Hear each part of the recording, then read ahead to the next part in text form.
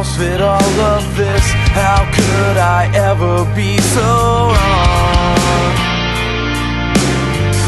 At a pace we are doomed once we begin Kinda makes you wonder what's the sense How could I ever be so wrong?